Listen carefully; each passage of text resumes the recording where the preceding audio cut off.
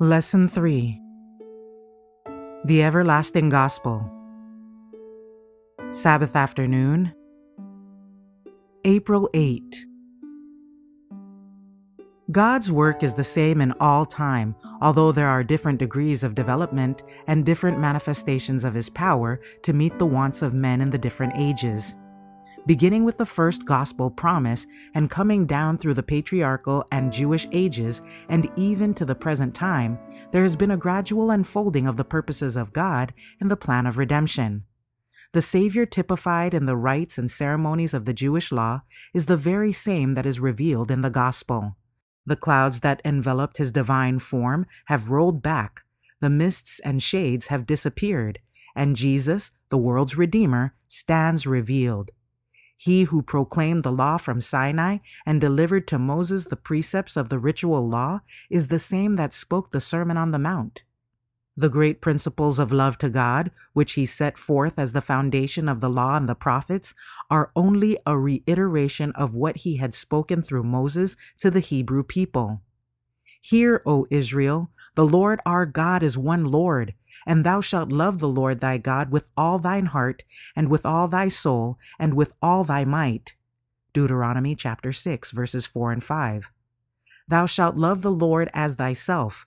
Leviticus chapter 19, verse 18. The teacher is the same in both dispensations. God's claims are the same. The principles of his government are the same. For all proceed from him with whom is no variableness, neither shadow of turning. James chapter 1, verse 17. Patriarchs and Prophets, page 373. Christ is coming the second time with power unto salvation. To prepare human beings for this event, he has sent the first, second, and third angels' messages. These angels represent those who receive the truth and with power open the gospel to the world. Ellen G. White comments in the SDA Bible Commentary, Volume 7, page 978. This message, the three angels' message, is a testing message. Received into honest hearts, it will prove an antidote for all the world's sins and sorrows. No conditions of climate, of poverty, of ignorance, or of prejudice can hinder its efficiency or lessen its adaptability to the needs of mankind. The proclamation of the great gospel message is the work of the disciples of Christ. Some will labor for this in one way, and others will carry another branch of the work, as the Lord calls and directs them individually.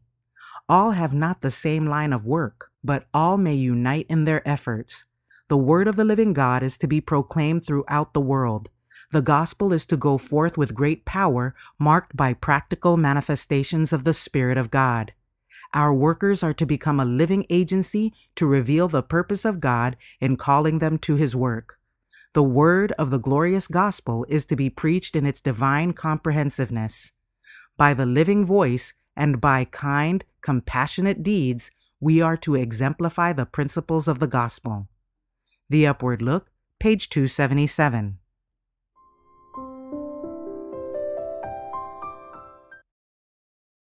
Sunday, April 9. A Grace Filled Book of Hope.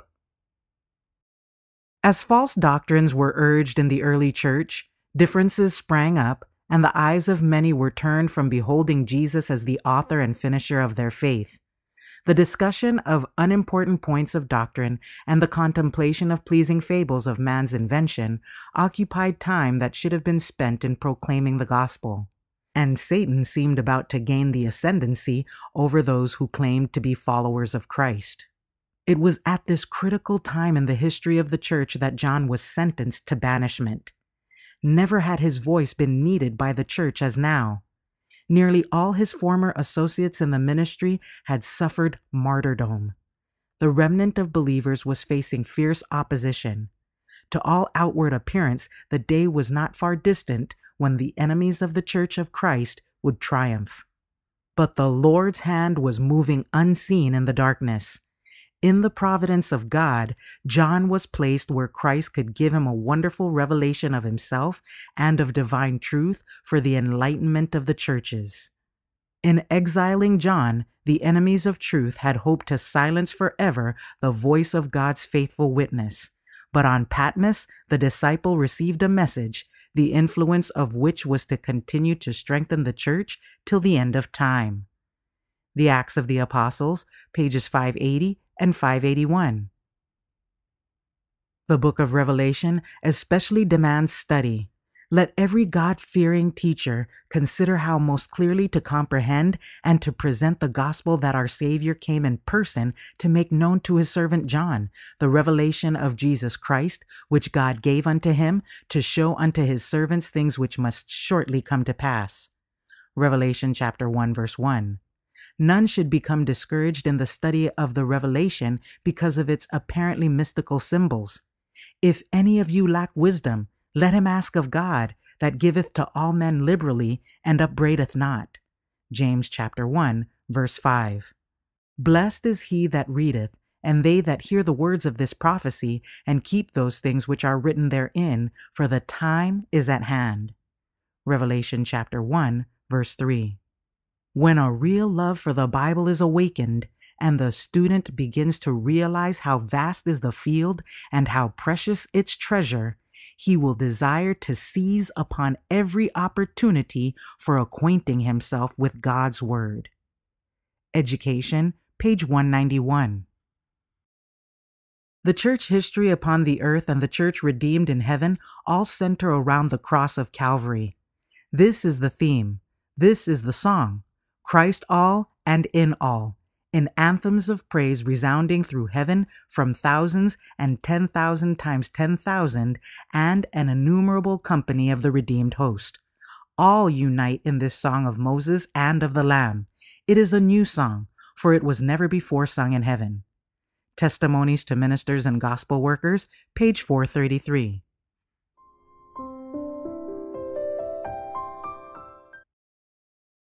Monday, April 10. The Everlasting Gospel.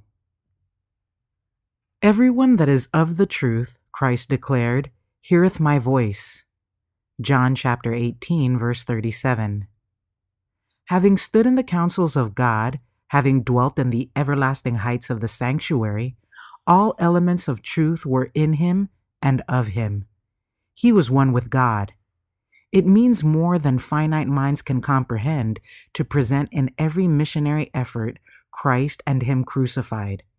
He was wounded for our transgressions, He was bruised for our iniquities. The chastisement of our peace was upon Him, and with His stripes we are healed. Isaiah chapter 53, verse 5. He hath made him to be sin for us who knew no sin that we might be made the righteous of God in him. 2 Corinthians chapter 5 verse 21. Christ crucified for our sins. Christ risen from the dead. Christ ascended on high as our intercessor. This is the science of salvation that we need to learn and to teach. This is to be the burden of our work. The cross of Christ Teach it to every student over and over again. How many believe it to be what it is? How many bring it into their studies and know its true significance? Could there be a Christian in our world without the cross of Christ? Then keep the cross upheld as the foundation of true education. Counsels to Parents, Teachers, and Students, pages 22 and 23. Abundant grace has been provided that the believing soul may be kept free from sin. For all heaven, with its limitless resources, has been placed at our command. We are to draw from the well of salvation. Christ is the end of law for righteousness to everyone who believeth. In ourselves, we are sinners, but in Christ, we are righteous. Having made us righteous through the imputed righteousness of Christ, God pronounces us just and treats us as just. He looks upon us as his dear children. Christ works against the power of sin, and where sin abounded, grace much more abounds. Therefore, being justified by faith, we have peace with God through our Lord Jesus Christ, by whom also we have access by faith into this grace wherein we stand, and rejoice in hope of the glory of God. Romans chapter 5 verses 1 and 2. Selected Messages, Book 1, page 394 who hath saved us and called us with an holy calling, not according to our works, but according to his own purpose and grace, which was given us in Christ Jesus before the world began. 2 Timothy chapter 1, verse 9. The purpose and plan of grace existed from all eternity. Before the foundation of the world, it was according to the determinate counsel of God that man should be created, endowed with power to do the divine will. But the defection of man, with all its consequences, was not hidden from the Omnipotent, and yet it did not deter him from carrying out his eternal purpose. For the Lord would establish his throne in righteousness. God knows the end from the beginning. Therefore, redemption was not an afterthought, but an eternal purpose to be wrought out for the blessing not only of this atom of a world, but for the good of all the worlds which God has created. God's Amazing Grace, page 129.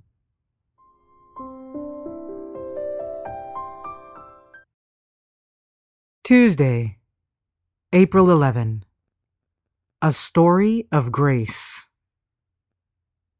The message proclaimed by the angel flying in the midst of heaven is the everlasting gospel, the same gospel that was declared in Eden when God said to the serpent, I will put enmity between thee and the woman, and between thy seed and her seed.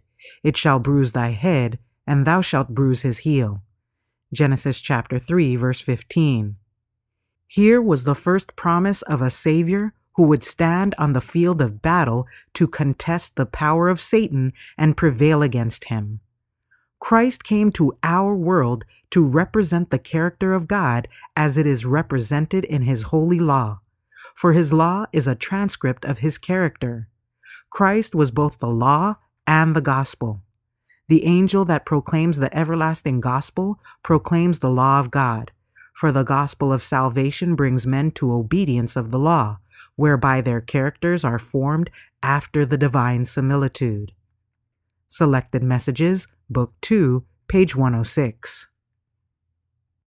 For as much as ye know that you were not redeemed with corruptible things, as silver and gold, but with the precious blood of Christ, as of a lamb without blemish and without spot.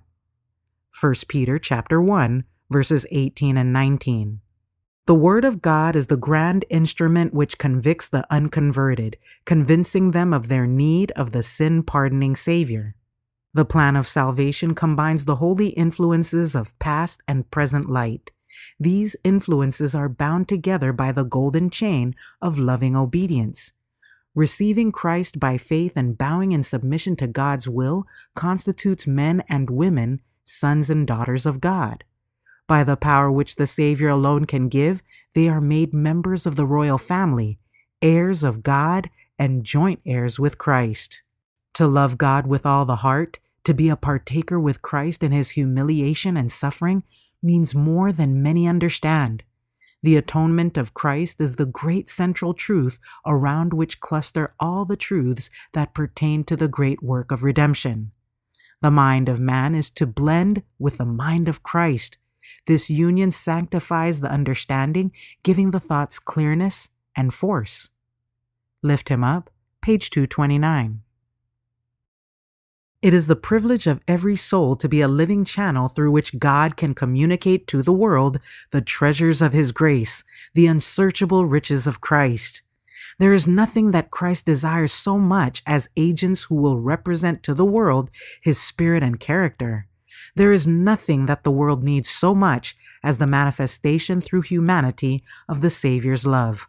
All heaven is waiting for channels through which can be poured the holy oil to be a joy and blessing to human hearts. Christ has made every provision that his church shall be a transformed body, illumined with the light of the world, possessing the glory of Emmanuel. It is his purpose that every Christian shall be surrounded with a spiritual atmosphere of light and peace. He desires that we shall reveal his own joy in our lives. The indwelling of the Spirit will be shown by the outflowing of heavenly love. The divine fullness will flow through the consecrated human agent to be given forth to others. Christ's Object Lessons, page 419.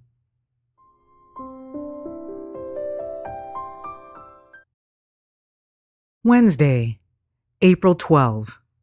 Into all the world.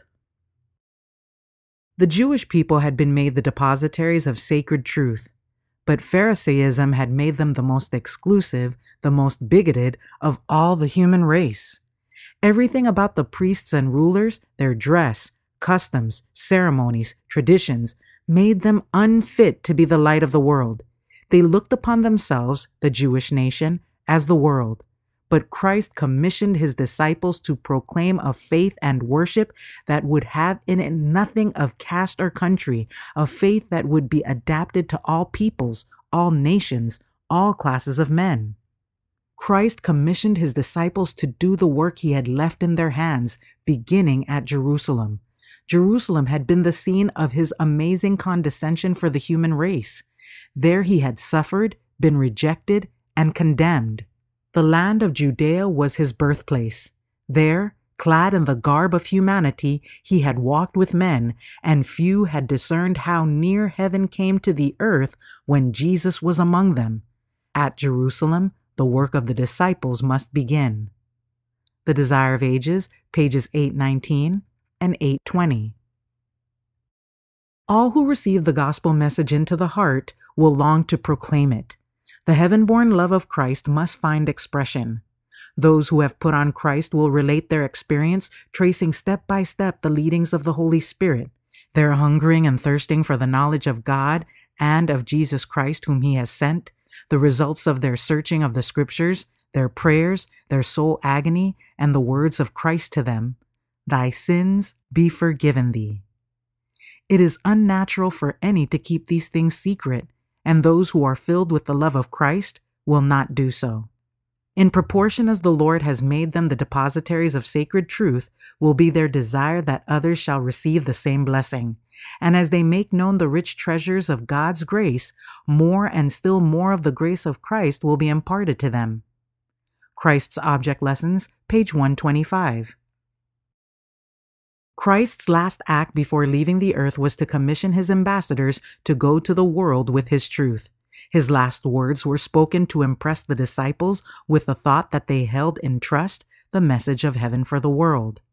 If we but realize how earnestly Jesus worked to sow the world with the gospel seed, we, living at the very close of probation, would labor untiringly to give the bread of life to perishing souls. We have only a little longer time in which to prepare for eternity.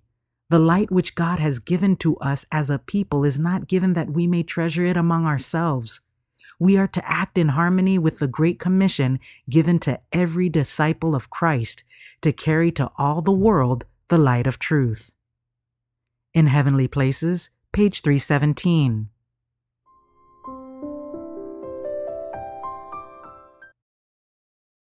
Thursday, April 13. A Mission Movement. To us has been committed a great work, the work of proclaiming the third angel's message to every nation, kindred, tongue, and people. We have but few missionaries. From home and abroad are coming many urgent calls for workers. Young men and women, the middle aged, and in fact all who are able to engage in the Master's service should be putting their minds to the stretch in an effort to prepare to meet these calls. If we consecrate mind and body to God's service, obeying His law, He will give us sanctified moral power for every undertaking. Counsels to Parents, Teachers, and Students, page 209. God calls upon every church member to enter His service. Truth that is not lived, that is not imparted to others, loses its life giving power, its healing virtue. Everyone must learn to work and to stand in his lot and place as a burden bearer. Every addition to the church should be one more agency for the carrying on of the great plan of redemption. The entire church, acting as one, blending in perfect union, is to be a living, active missionary agency. It is a law of heaven that as we receive, we are to impart. The Christian is to be a benefit to others, thus he himself is benefited. He that watereth shall be watered also himself. Proverbs chapter 11 verse 25. This is not merely a promise. It is a law of God's divine administration, a law by which he designs that the streams of beneficence shall be kept, like the waters of the great deep, in constant circulation, perpetually flowing back to their source. In the fulfilling of this law is the power of Christian missions. In Heavenly Places, page 317. Ye shall be witnesses unto me. Acts chapter 1 verse 8. These words of Jesus have lost none of their force. Our Savior calls for faithful witnesses in these days of religious formalism. But how few, even among the professed ambassadors of Christ, are ready to give a faithful personal testimony for their Master. Many can tell what the great and good men of generations past have done and dared and suffered and enjoyed. They become eloquent in setting forth the power of the gospel, which, has enabled others to rejoice in trying conflicts and to stand firm against fierce temptations. But while so earnest in bringing forward other Christians as witnesses for Jesus, they seem to have no fresh, timely experience of their own to relate. You who profess to be proclaiming the last solemn message of mercy to the world, what is your experience in the knowledge of the truth, and what has been its effect upon your own hearts? Does your character testify for Christ? Can you speak of the refining, ennobling, sanctifying influence of the truth as it is in Jesus? What have you seen? What have you known of the power of Christ? Without a living faith in Christ as a personal Savior, it is impossible to make your faith felt in a skeptical world. Gospel Workers, pages 273 and 274.